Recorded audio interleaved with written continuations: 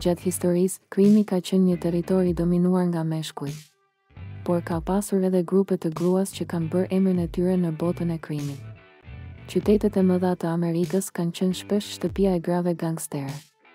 Në Chicago të viteve 1920, Stephanie St. Clair u bë një figurë e tmerrshme. Një emigrant nga Karibia, St. Clair në fakt ishte një ndërmjetëse e lojërave të paligjshme të numrave. Ajo fitoi mjaftueshëm para sa për të ndërtuar një imperium kriminal dhe për të kundërshtuar konkurrencën. Në anën tjetër të botës, në Japoni, Fumiko Kaneko u rrit në një botë të dhunës dhe krimit. Me partnerin e saj në krim, ajo bëri një sulm bombësh në Tokio në vitin një mijë e nëntëqind e njëzet e gjashtë. Arrestimi i Kaneko dhe ekzekutimi i saj nën akuzën e tradhëtisë së shtetit nënshkruan vendin e saj në historinë e grave gangstere. Megjithatë, një tjetër grua e njohur në këtë kategori ishte Ma Barker e Amerikës. Në vitet një mijë e nëntëqind e tridhjetë, Barker dhe djemtë e saj kanë bërë disa prej grabitjeve më të famshme të bankave në historinë amerikane. Ajo është përmendur gjithashtu për rolin të saj në organizimin e rrëmbimeve.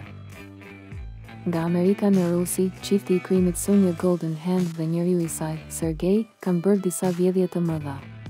Sonia ishte një grua e gjelbër dhe e zgjuar që organizoi vjedhjet. Në Kinë, Zheng Yi Sao, e njohur si Piratja, ishte një tjetër grua gangster e tmerrshme. Pas vdekjes së bashkëshortit të saj, ajo mori drejtimin e flotës së tij të piratëve dhe u bë një nga kriminelët më të frikshëm të kohës. Në Meksikë, Sandra Ávila Beltrán, e njohur si Mbretëresha e Pacifikut, ishte përgjegjëse për një pjesë të madhe të trafikut të drogës midis Kolumbisë dhe Shteteve të Bashkuara. Ajo ka dominuar në një botë të dominuar nga burrat dhe është bërë një simbol i fuqisë së gruas. Në fund të fundit, gruaja gangster më e njohur është ndoshta Bonnie Parker e Amerikës. Parker dhe partneri i saj, Clyde Barrow, kanë kryer një seri vrasjesh, grabitjesh të bankave dhe vjedhjesh të makinave gjatë viteve një mijë e nëntëqind e tridhjetë e dy, një mijë e nëntëqind e tridhjetë e katër. Parker, Barrow dhe banda e tyre u bënë ikona të krimit dhe të ashtuquajturës Era e Krimit Publik. Ata u vranë në një pritë të armatosur nga policia në vitin një mijë e nëntëqind e tridhjetë e katër. Por jo të gjitha gratë gangstere kanë qenë nga Amerika. Në Britaninë e Madhe, gëmëzat Kray kanë qenë pjesë e botës së krimit të Londrës gjatë viteve një mijë e nëntëqind e gjashtëdhjetë. Reggie dhe Ronnie Kray ishin dy nga krerët më të frikshëm të botës së krimit të Londrës, por ishin gëmëzat e tyre, Violet dhe Rose, ato që i mbajtën gjërat në rrjedhën e tyre. Në Indi, Phoolan Devi ka qenë një tjetër grua gangster e njohur. Pas një jete të vështirë, Devi u bë e njohur si mbretëresha e bandave dhe kreu disa krime të rënda para se të dorëzohej në polici. Ajo u dënua me vdekje, por u lirua më vonë dhe u bë një politikane e njohur. Devi u vra në vitin dy mijë e një, por legjenda e saj vazhdon të jetojë. Në Afrikë të Jugut, Kajzerina e Madhe është një tjetër emër i famshëm. Ajo ka qenë pjesë e botës së krimit të Johanesburgut për dekada dhe ka qenë përgjegjëse për disa prej krimeve më të rënda në historinë e vendit.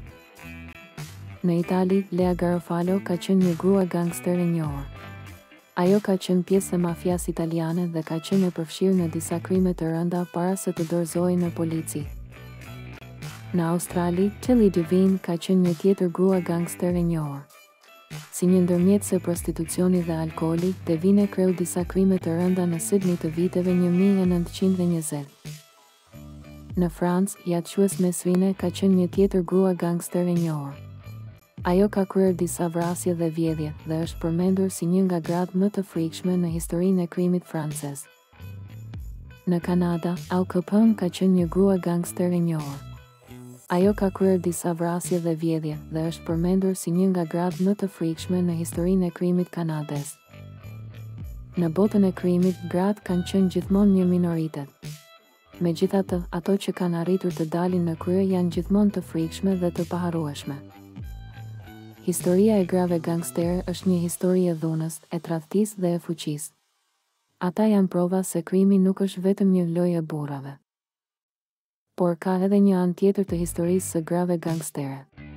Ata janë edhe viktima të rrethanave të vështira dhe të padrejta shoqërore. Shumë prej tyre kanë qenë të detyruara të bëjnë atë që kanë bërë për të mbijetuar. Për ta, krimi ka qenë i vetmi rrugëdalje. Por kjo nuk i bën më pak të rrezikshme. Në fund të fundit, ata janë kriminelë dhe meritonin të ndiqeshin për veprat e tyre. Por në të njëjtën kohë, historia e tyre tregon se gratë mund të jenë po aq të rrezikshme dhe të frikshme sa dhe burrat. Në fund të fundit, krimi nuk njeh gjini. Ai njeh vetëm fuqinë, dhunën dhe frikën. Dhe këto gra kanë qenë në qendër të këtyre gjërave. Ata kanë qenë pjesë e botës së krimit dhe kanë lënë gjurmët e tyre të thella në histori. Në fund, historia e grave gangstere është një histori e fuqisë, e dhunës dhe e tradhtisë. Por është gjithashtu një histori e mbijetesës, e rezistencës dhe e përsosmërisë. Këto gra kanë treguar se nuk ka rëndësi se çfarë jete të vështira kanë pasur, ata gjithmonë kanë gjetur një mënyrë për të mbijetuar. Dhe përfundimisht, kjo është ajo që i bën ato të vërtetë gangstere, aftësia për të qëndruar në këmbë, pavarësisht asaj që jeta hedh në to.